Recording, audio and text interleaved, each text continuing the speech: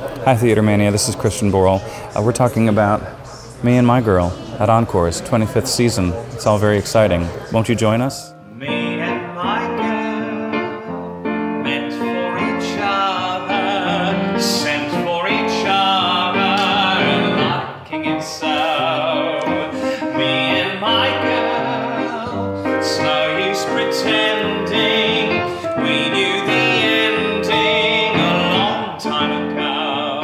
Me and My Girl is funny, it's bright, it's eccentric. I mean, Laura Michelle Kelly is a dream. She's the heart of the whole show. She's she's warm and she's special.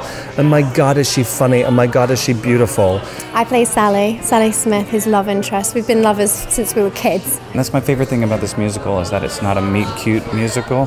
There's always like they meet, they don't like each other, then they kind of like each other, then something happens, and then they respect each other, and then they fall in love. There's none of that. They've been together and they have a solid, healthy relationship. And uh, he hits the lottery, and it threatens everything that he holds dear, and everything that he holds dear is just Sally.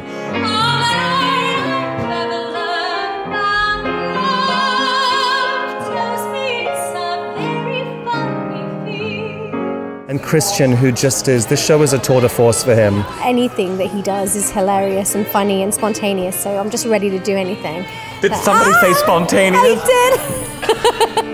Some little church without big steeple, just a few people, and both of us know. Me and My Girl, I think, is a family show. It's really funny, it's really charming, the music is great. It's a really lovely night out.